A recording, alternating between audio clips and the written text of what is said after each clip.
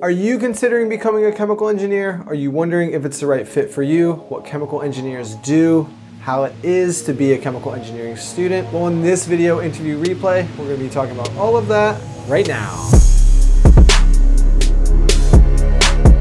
Hey 1% Nation, I'm Jake Voorhees, and you are watching episode 47 of the 1% Engineer Show, where we empower young engineers to rise to the top 1% of their career. If this is your first time to the channel, make sure you subscribe because I release videos on Wednesdays, Saturdays, and Sundays for engineering student success. And if you want the 1% Engineer Kit, which is a bunch of ebooks and resume templates so that you can crush it, comment below and I'll send you a download link. And one more quick announcement guys, before we get started, you're gonna be interested in this one. I'm doing a $100 giveaway contest for hitting 1,000 subscribers, which will probably happen this weekend when this video comes out. Thank you so much, 1% Nation. I appreciate each and every one of you for watching all of my stuff for making it to now almost 50 episodes of the 1% Engineer Show. This channel, you guys, this show has reached over 30,000 views and nearly 100,000 watch time minutes. That's almost 70 days of watch time that you guys have participated in. So thank you so, so much. So if anyone in 1% Nation is interested in participating in the giveaway, comment below. And next week, I'll announce more about the contest details. I want to give a big shout out to Emily Graham, who's been requesting more information on chemical engineering engineering jobs. So I'm releasing this interview a little early just for you, Emily. So let's not waste any more time, guys, and jump into this interview with Ash Norton. Enjoy! Hey, 1% Nation. Today, the featured guest on our show is Ash Norton. Ash, thanks for being on the show.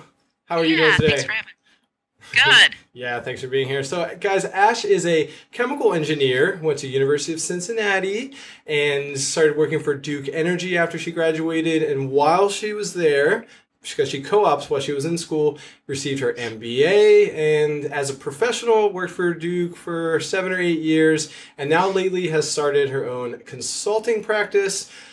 Maybe on the fringes of 2016 into 2017. I know it's been, you know, you're approaching that one year mark here coming down later. Throughout the year and was lately featured in a Forbes publication. Huge congrats, Ash. I'm so happy for you about that. So, Ash, thank you again for being on the show. Why don't you yeah. say hello to 1% Nation and fill us hey, in. Hey, everybody. fill us in with uh, some other things about your personal life and outside of engineering. Yeah, so um, I met my husband uh, at Duke Energy. So I've, we've got three children. Um, my youngest is eight months old, so I'm not getting a lot of sleep now, but um, they definitely keep me hopping. Happy to be here to talk with you guys um, one of my biggest passions is helping young people develop and grow, and especially young engineers. So, really excited to be here. Awesome, awesome, Ash. Thank you so much. So, yeah. before we talk about some of the very exciting things that you have going on in your life right now, let's go all yeah. the way back to your days when you were maybe in high school and you were trying to figure out what you wanted to study and you landed on chemical engineering. Take us to that, Ash. How did you yep. know, how did you arrive at chemical engineering for being your career? Yeah, good question. So I actually had no idea what an engineer did. Um, but my aunt said to me, hey, you should be an engineer. So I started digging into it, looking into it, um, and I knew that I loved chemistry. So out of my high school classes, I really loved chemistry. And I had this great opportunity to take um, a couple of weeks course at Eastern Kentucky University that it was just very general engineering for high school students. Um, and so, really excited about that. And I realized that I really enjoyed how engineering allowed you to apply the science. Uh, and so, with that, I learned hey, engineering really might be for me. My aunt might be onto something. Um, so, with you know how I loved chemistry and the engineering experience that I had, that's kind of what led me to chemical engineering. Love that little, little family nudge, a little family advice goes a long way. Right. and following that heart, I love that. How it's like you kind of knew. I feel the same way about civil. Kind of had it in my heart, and then when you take the classes and you explore, it just kind of starts to snowball, right? So, Ash, yeah really quickly, I mean, people know about University of Cincinnati. My biggest connection to it is I don't remember his name, but the football coach who had that killer year and then went on. He left and then went to Notre Dame after that. Um, but for people yeah, who we, we don't mention him too much. Yeah, I knew it. He's hated, right? He's hated. Yeah, that's so funny. Um, so, for everyone who may not be unfamiliar with University of Cincinnati, take us back again to those moments where you were choosing school, and why is it that you chose that school, and what was it that attracted you to to that university? It was actually my last choice when I was looking at colleges, and I said, "Well, I'll just go ahead and apply, and that way, if I don't get into any of these other colleges, you know, I know I'll get in there." So that was kind of my thinking in applying. Um, but what I discovered as I looked into all of the colleges more and more, um, yes, the other colleges I looked at too had really great programs, but the University of Cincinnati has a stellar co-op program, and so um, that is what really solidified it for me. Um, was I was able to one earn money, um, two find out did I enjoy engineering, and then three kind of get some work experience under my belt before I even graduated. And so because they had such a strong uh, co-op program, that's why I ultimately really dug in and, and decided on the University of Cincinnati. Yeah, I think co-op programs are an awesome thing for students out there. I've seen the numbers for job placement rates for co-ops. I mean, you come out of school, you know people in the industry, you have experience, right? So I'm sure you encourage everyone to pursue a co-op program. Absolutely, absolutely. And as a hiring manager, when I'm you know, when I've in the past looked at resumes, those resumes that have experience, even as a co op, they stand out because it's not just do you have that theoretical, you know, mental capability? It's can you apply it in a way that helps the organization? And so, mm-hmm. you know, I encourage any engineering student to pursue a co-op or an internship, uh, even if where they're at doesn't have, you know, a solid program. Yeah, and I'm so happy that you talked about your experience as a hiring manager, Ash, because yeah. that is my next question for you. No. But first, a lead in question How long were you actually working in the hiring manager type space? Yeah, so when I first graduated in 2007, I was the laboratory supervisor. And so there were a couple of um, co ops, engineering co ops, as well as some laboratory technicians that worked within my team. And so for three years, I was the hiring manager in that role. Uh, then I transitioned to our engineering subject matter expert role. And so I was an individual contributor. Um, however, I helped hire engineering co ops. Uh, and so for in that role, even though they didn't report directly to me, I was their mentor. So I did that for another two years.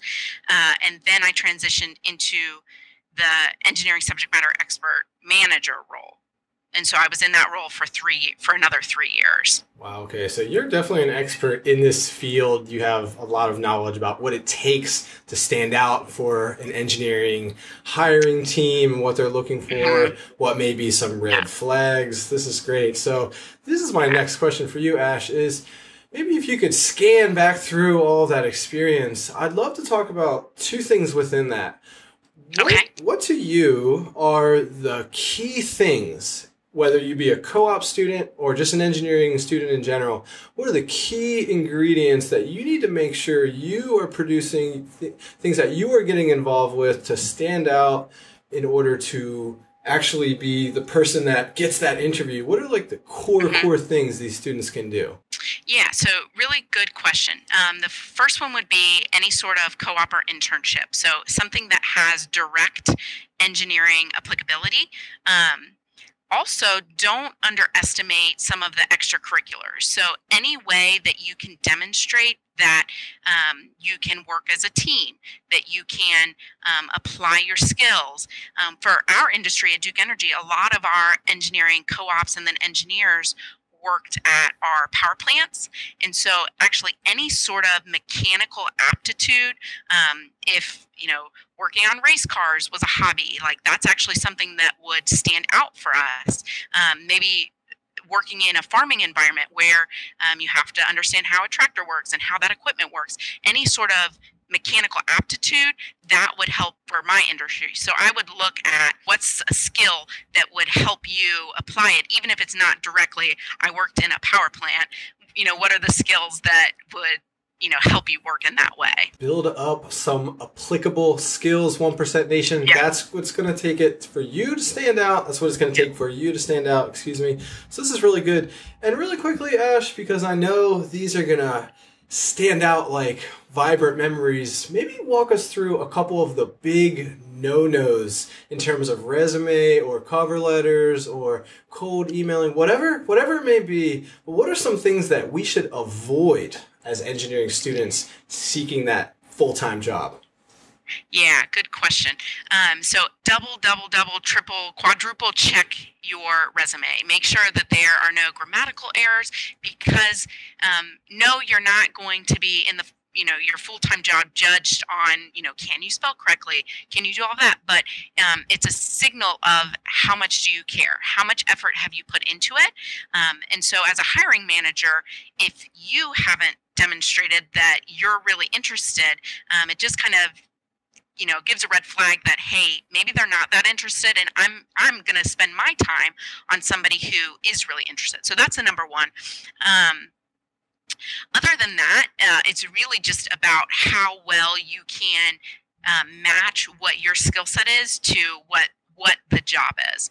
Um, and so beyond that, there's really not that many red flags. Um, you'll definitely want to include your resume, or I'm sorry, include your GPA, um, even if it's not that great, um, because if not, that kind of throws up a red flag what are they trying to hide so it's kind of like are they lying by omission um, that that sort of thing so uh, don't think that you have to have you know 4.0, 4.0 gpa um, or you're not going to be considered just be as transparent as possible with that really good really good put that gpa on the resume 1% nation because it's going to give off the wrong vibe if you hide it, even if it's not the best. I did not have the best GPA. This is kind of one of the core things I teach with 1% Engineer is that it is that other side experience, the people that you know, everything mm-hmm. else. It's not really, sometimes, you know, 3.8, 4.0 these are scary gpas 3.5 3.6 these are awesome. Anything above 3.0 so. Yeah and and to that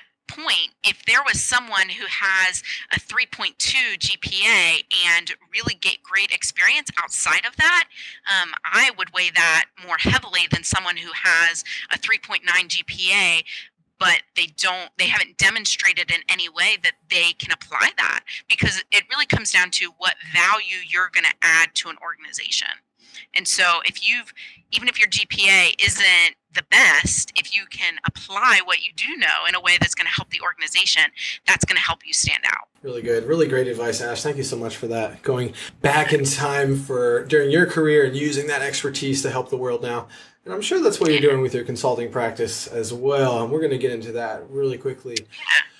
But I want to talk a little bit about your knowledge in chemical engineering career pathways. I'm happy to say that you are the first chemical engineer to weigh in and provide insight to 1% Nation. We've had robotics engineers, we've had electricals, mechanicals, civils, environmentals, PhD bridge people, and you are the first chemical engineer to enlighten us.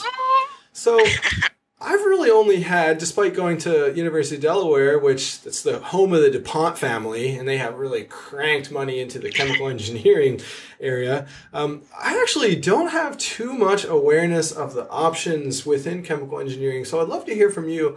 What are the sort of pillars of career options for chemical engineers that you know you had to sift through in your mind, figure out yeah. what it's going to be for you? Yeah. So um, there, there are lots of different options. Um, so I'll start off by saying that um, one is going to be like oil and gas. One of my colleagues, um, a couple of my colleagues actually worked for Marathon uh, upon graduating. So that's a big one. Um, any sort of manufacturing, especially um, if there's a chemical component to that, uh, uh, Toyota, that's another big one. So anything in the automotive industry. Um, so with pigments and um, that. So manufacturing is a big one. Um, a couple of friends actually graduated and have worked for L'Oreal, and so um, you know beauty and there's there's a lot of formulation that goes into that, and so that's a really fun one. Um, pharmaceuticals. A couple of colleagues have worked uh, in the pharmaceutical industry. Um, P&G that's another big one. So, um, how do you improve products in a way that uh, makes it so that they're really marketable? Uh, so P&G is a fun one, uh, and then a couple of people have worked on um, kind of consulting organizations that work with these other companies. And so mm-hmm. they'll do consulting work that allows them to work with multiple of these. So, in addition to uh, my own experience, kind of uh, in the process improvement side of uh, working with the power plants, that's another one. And environmental is a big one for chemical engineers as well. Lots of options out there for you guys, and you should, should be rewarded with awesome career options as chemical engineering because I'm a firm believer that any engineering is the hardest undergraduate major that you can do. And I've always talked about how I believe chemical engineering is the most challenging one. So if you can survive university and with a chemical engineering degree, it seems like you have a plethora of awesome options at your fingertips. So I'm happy to hear that, Ash. I appreciate that. For, for me personally, I enjoyed chemistry so much that um, I honestly think that electrical or mechanical or you know some of the other ones would have been more challenging for me. Mm-hmm. Um, but I mean, like you said, any engineering curriculum is going to be challenging. So. Mm-hmm. Yeah, I totally agree. That's that's what I tell people. We're starting to split hairs here. When people are like, right. "Oh, isn't isn't like mechanical a little easier than electrical?" and it's like, "Well, yeah, maybe not. They're all really hard, guys. Like, come on." Yeah. Okay, Ash, now we're going to get into my favorite type of topics, which is you right. transitioning your career okay. into pushing your consulting brand and putting out content and being in Forbes lately.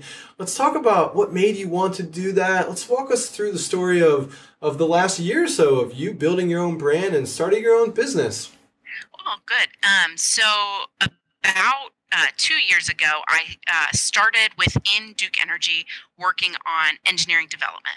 And so I started learning more and more um, officially about how do we train engineers and how do we help engineers grow. So I had done, you know, obviously as a hiring manager, I've had engineers and engineering co ops work for me for several years. And so um, I had had a lot of success with developing and mentoring and, and managing um, people from early on in their career and kind of working their way up. So I was tapped about two years ago uh, from you know some of the senior leadership at Duke Energy to say, okay, let's put a program in place and and really put some organization so that everything that I was doing in my own little bubble, we could spread to the rest of the organization. And so um, I worked on an engineering development program for about 400 engineers. Uh, and so that was something that I worked on for about a year. Um, and that role was then um, kind of disbanded and I was offered a severance. And so, even though I loved working with Duke Energy, um, I was eight months pregnant at the time. And I said, okay, the universe is telling me something. Um, I've always kind of in the back of my mind considered doing something on my own, having my own business, um, and the opportunity to help more and more engineers.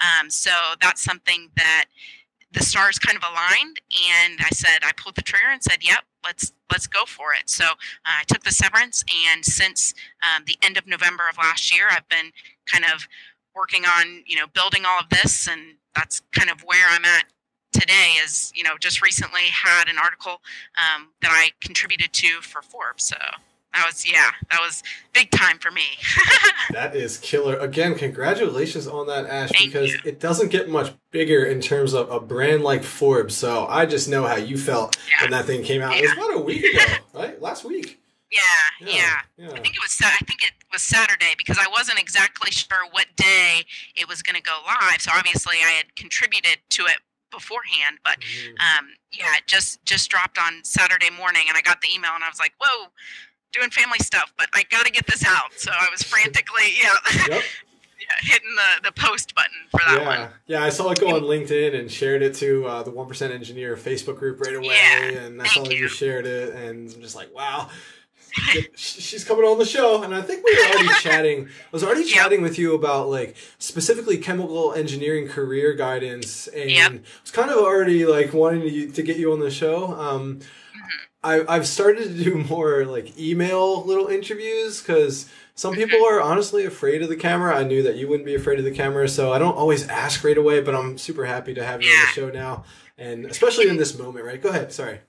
Yeah, so the Forbes article, what I was extra excited about was it focused on soft skills for um, technical people. So for me, you know, I'm, I focus on engineers, but soft skills for engineers, I think, is so so critical.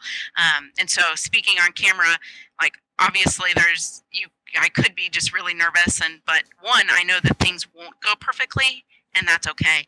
Um, so yeah, just continuing to develop those soft skills is so critical. So hopefully, I'm setting a good example and um, just jumping in with with being on camera. Yeah, no, you're rocking it out, Ash. And I'm so happy that you mentioned the topic of that article because this is the epitome of the 1% Engineer Society. This is what I talk about. I don't talk about how to actually get good grades necessarily. Like, there's so much content out there about how to get a high GPA and how to be a good student and things like that.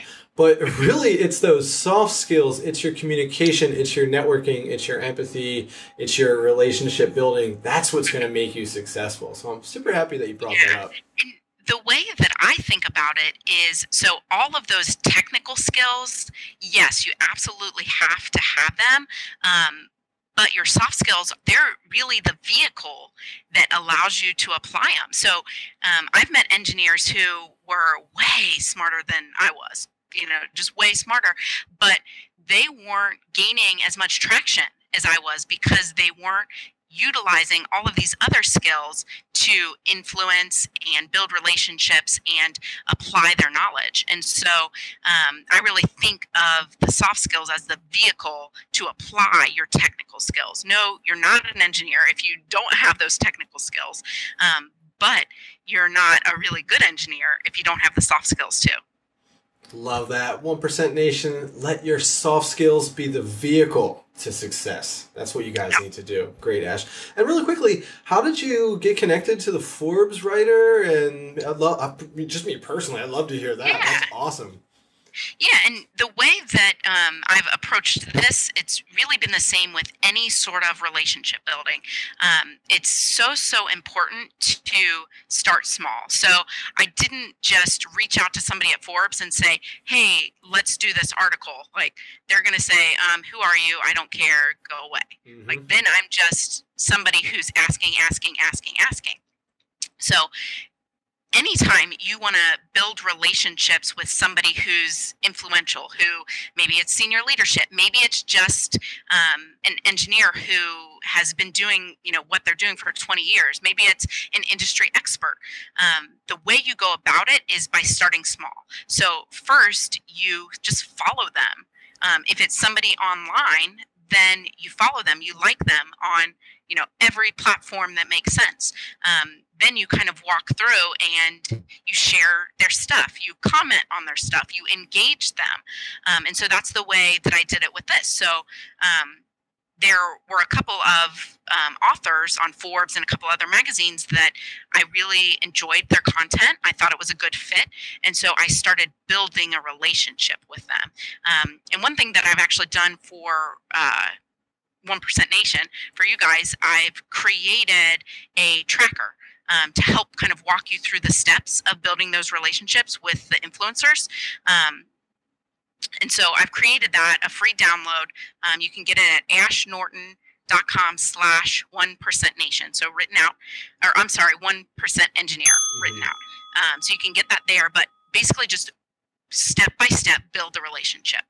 And I've done it, you know, to get you know be a contributor for forbes um, but it's the same with building relationships with senior leadership within your organization so it's really um, kind of the basis of how you do anything with with building this sort of success download that tracker 1% nation and thank you so much ash for doing that i'm okay. going to personally check yeah. out that tracker myself and start using it and 1% nation yeah. you should check that out as well that's really good i love i love all those tips about using social media to biz dev and network, and it's pretty good. Um, yeah. You know about Gary Vaynerchuk? I'm sure you do. Yeah, yeah, yeah. Yeah, this is the type of stuff that he talks about so much.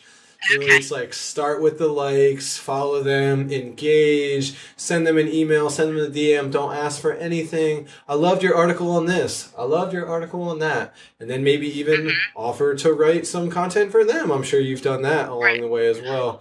Well, So- and the thing is, if you if you take it slow and really do it authentically, then when it comes time to make the ask or make the pitch, you already have the relationship. You don't feel, you know, sleazy or slimy about it because you've already contributed so much.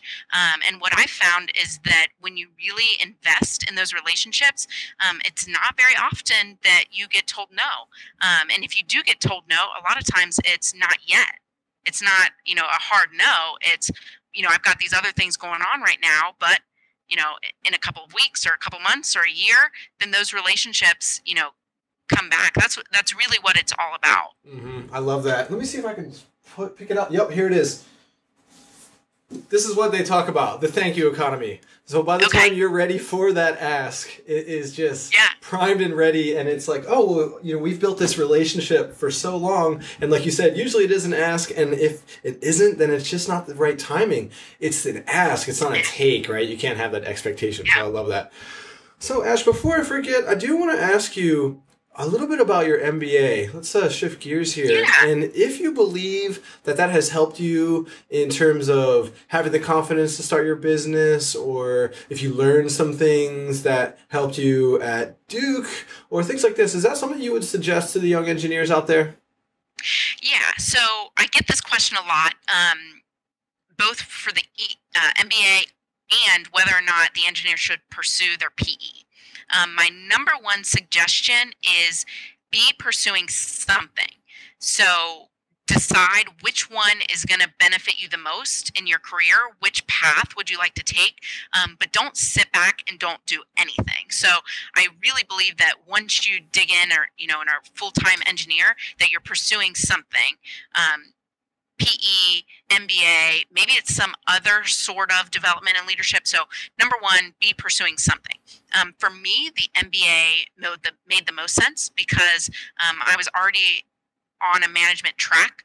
Um, I was already kind of focused on being a leader in kind of the you know technical world uh, and so for me that made sense. Um, it was also really really nice for me and a bonus that i didn't expect was that i learned so much about the way other organizations did things. Um, as I mentioned, all of my uh, co-ops and you know my work experience to that point had been with Duke Energy. That was the the only company that I had kind of intimate knowledge of how they operated. And so by pursuing my MBA, I really got the chance to learn so much about all of these other organizations. And so for me, that that was an added bonus that I didn't even expect. Um, but then I also learned just so much just business knowledge of you know i didn't have to take accounting or economics or any of those courses um, for my undergraduate and so it was really good to kind of explore the ins and outs of uh, that type of um, curriculum you know so that i could apply that to real world Love that. I love that. Thank you so much, Ash, for all that MBA insight. I went Yeah. to a technical master's program after undergraduate, and it only took me three, four, five months to realize, like, hmm, I probably should have pursued MBA. It just seemed like a better fit for me. So uh, Yeah. I'm, I'm glad that you can fill us in on some of that. So, Yeah. Ash, we have been very good at being concise here t- tonight, this evening, and have gone through all of the core questions that I wanted you to fill in some tidbits, some value bombs onto 1% Nation. But I have Yeah. a few 1% lightning round questions for you All right. if you're ready for the 1% round. all right Usually, yeah, usually I do five, but I think I'm only going to save it to my top three. So, okay in your life, you can have it be connected to engineering, being a student, whatever. What is the biggest piece of advice you've ever received? I think the thing that helped me has helped me so much um, because I tend to um, be a worrier. I tend to care so much about what's going on and put so much energy and passion and, and heart into it um, that sometimes I get disappointed. And so for me, the best piece of advice is if it's not going to matter in five years, don't worry about it for five minutes. And so if it's, you know, if it's not going to be something that matters in five years, don't even let yourself spend five minutes on it. Um, so that's something that helps uh, keep things into perspective for me. That's really good. I feel like I could use that Yeah. if I look back on my life. Is this going to matter in five years, Jake? No, forget about it. Love that. Right. yep. Just move on. What's the number one book recommendation that you have for 1% Nation? Yeah. Um, for me, this is uh, the number one book recommendation for everyone, uh, but Strengths Finders 2.0. And I say that because, especially for engineers, we know our skills very well. We are very competent, capable people, and we know our skills very well, uh, but we maybe haven't focused as much on what our natural strengths are. And so for me, I was, um, my eyes were just opened so much when I read that book and, and took the uh, quiz that comes along with it to identify my natural strengths. And it really helped me see um, how I can apply my natural strengths uh, and be a better leader, be a better engineer. And what's really great about it is they give some really practical tips um, for how to apply your strengths. And so, you know, break it out, not just your skills that you've learned as an engineer, but also your natural strengths, uh, and don't underestimate those. Mm-hmm.